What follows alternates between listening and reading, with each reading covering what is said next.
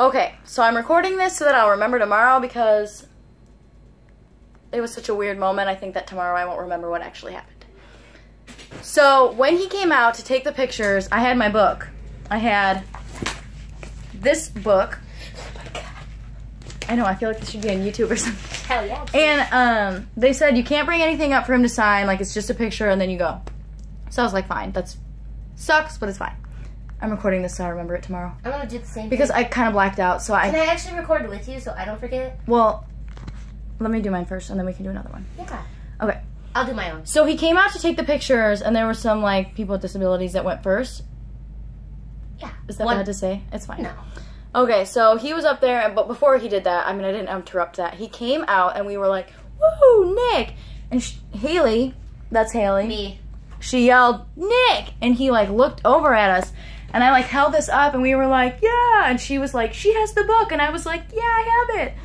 And he was like, and I was like, "Was that bad?" I mean, it was really exciting because he looked at us and acknowledged that we had the book, since I can't get it signed.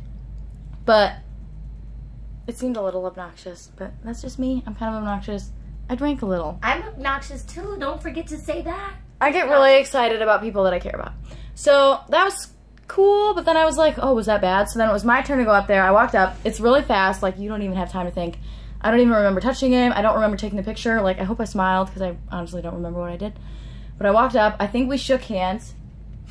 And, and I was like, hey, I'm really sorry about the whole book thing. And he went, and then we like got next to each other to take the picture. And he went, oh, why are you sorry? And I heard it in my left ear. And I was like, oh my God, like he's in my left ear. He has a tender voice. So sad. So beautiful. And then I said, oh, I'm sorry because I thought it was like obnoxious. And then we, for our picture. And then we took the exact face.